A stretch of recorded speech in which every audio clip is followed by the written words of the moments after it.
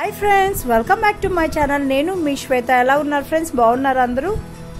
ఈరోజు మనం మిలెట్స్ దోశ అంటే కొర్రల దోశ ఎలా తయారు చేయాలో చూద్దామా? మిలెట్ దోశకి కావాల్సిన పదార్థాలు ఉర్దదాల్ అండి ఇది మినపప్పు అని కూడా అంటారు. నేను వన్ ఇస్ టు టూ రేషియోలో తీసుకున్నాను వన్ కప్ ఆఫ్ ఉర్దాలు తీసుకున్నాను వన్ కప్ మినపప్పు తీసుకున్నాను. ఇక్కడ టూ కప్స్ కొర్రలు తీసుకున్నాను కొర్రలు మిలెట్స్ అని కూడా అంటారు. టూ కప్స్ తీసుకున్నాను. ఇవి మనము ఒక బౌల్లోకి సర్వ్ చేసుకుందాం ఫస్ట్.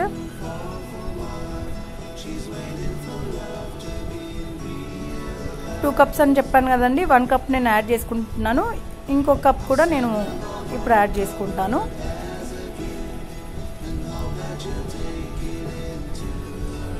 చూడండి ఇంకో కప్ కూడా యాడ్ చేస్తున్నాను. ఇక్కడ నేను మెంతులు యాడ్ చేస్తున్నానండి. మెంతులు హెల్త్కి కూడా మంచిది కదా. సో నేను మెంతులు చిన్న స్పూన్తో యాడ్ చేస్తున్నానండి. ఇప్పుడు వాటర్ యాడ్ చేసుకొని త్రీ టు ఫోర్ టైమ్స్ మనము బాగా శుభ్రంగా కడిగి పెట్టుకున్నామండి.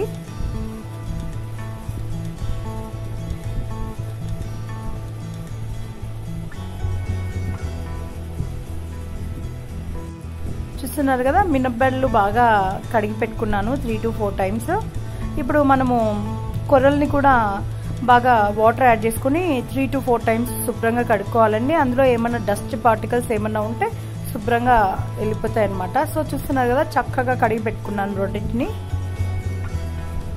ఇప్పుడు నేను యాడ్ చేస్తున్నాను chana dal. Two tablespoon add చేస్తానండి. చూస్తున్నారు కదా చెనా దాల్. స్మాల్ స్పూన్స్తో అయితే టూ టేబుల్ స్పూన్ యాడ్ చేశాను. దోశలు బాగా క్రిస్పీగా వస్తాయండి. మెత్తగా క్రిస్పీగా ఎలా కావాలన్నా మనం వేసుకోవచ్చు అనమాట ఇది ఓవర్ నైట్ నేను సోక్ చేస్తాను. నైట్ మొత్తం నానబెట్టి పెట్టుకుంటాను. మరి ఎర్లీ మార్నింగ్ లేవగానే నేను గ్రైండ్ చేసుకుంటాను. నేను కొర్రల్ని అలాగే మినబ్బల్ని నైట్ మొత్తం నానబెట్టి పెట్టుకున్నానండి. చూస్తున్నారు కదా చక్కగా నానిపోయాయి. అలాగే మళ్ళీ ఒకసారి టూ టైమ్స్ నేను వాష్ చేసుకున్నానండి. ఇప్పుడు నేను ఇక్కడ వన్ కప్ ఇవి మర్మరాలు అంటారు బొరుగులు అని కూడా అంటారు. నా దగ్గర అటుకులు రెడీగా లేవు కాబట్టి నేను ఇక్కడ వన్ కప్ మర్మరాలు తీసుకున్నాను. మర్మరాలు యాడ్ చేయడం వల్ల దోశలు చాలా చక్కగా బాగా వస్తాయన్నమాట. సో ఇప్పుడు మనము మిక్సీ గ్రైండ్లోకి యాడ్ చేసుకొని బాగా పేస్ట్ లాగా చేసుకోవాలన్నమాట. నేను ఫస్ట్ కొర్రలు అలాగే బర్మరాలు యాడ్ చేసి గ్రైండ్ చేసుకున్నాను.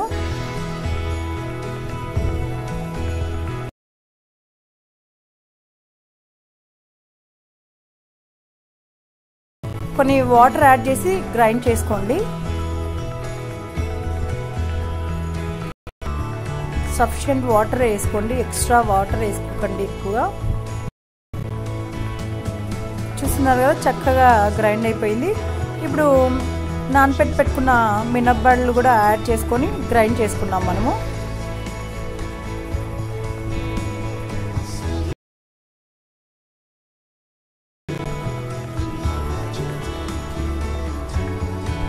చూస్తున్నారు కదా మనకి చక్కగా దోశ ప్యాటర్న్ రెడీ అయిపోయింది. ఇప్పుడు మనము నెక్స్ట్ దోశలు దీంట్లో ఏమేమి యాడ్ చేసుకోవాలో చూపిస్తానండి. ఇక నేను టేస్ట్కి సరిపడ్డ సాల్ట్ యాడ్ చేస్తున్నాను.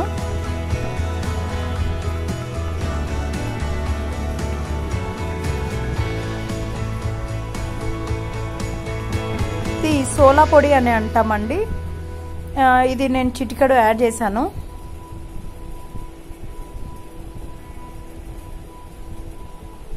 నెక్స్ట్ నేను యాడ్ చేస్తున్నాను one table spoon of sugar అండి. షుగర్ యాడ్ చేయడం వల్ల మనకి రెడ్ కలర్లో వస్తాయండి దోశలు.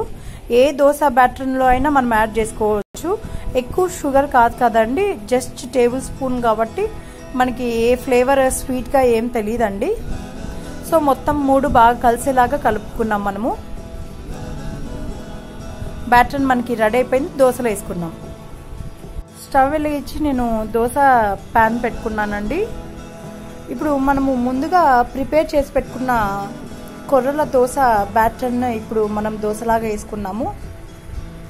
నేను ఇక్కడ చిన్న దోశ వేస్తున్నానండి. ఎందుకంటే మా అమ్మాయికి చిన్న దోశలు అంటే చాలా ఇష్టం. చూస్తున్నారు కదా చక్కగా వచ్చింది.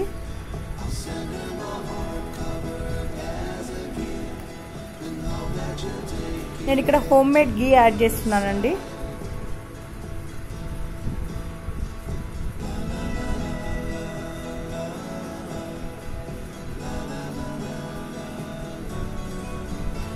మనకి దోశ బాగా కాలేంత వరకు వెయిట్ చేద్దాం.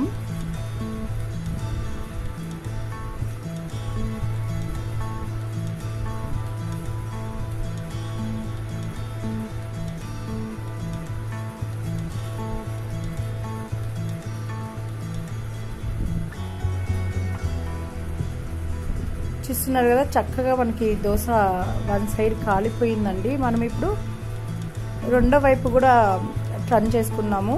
ఇంకాసేపు ఫ్రై చేసుకొని కాల్చుకొని. ఇప్పుడు మనము రెండో వైపు కూడా టర్న్ చేసుకున్నామండి చూస్తున్నారు కదా చక్కగా మనకి కలర్ కూడా బాగా మంచి కలర్ వచ్చింది.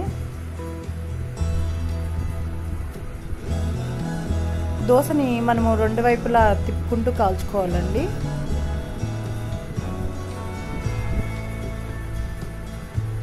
హై ఫ్లేమ్లో పెట్టుకుండా హై టు మీడియం ఫ్లేమ్లో పెట్టుకొని దోశనే దోశలు వేసుకోండి.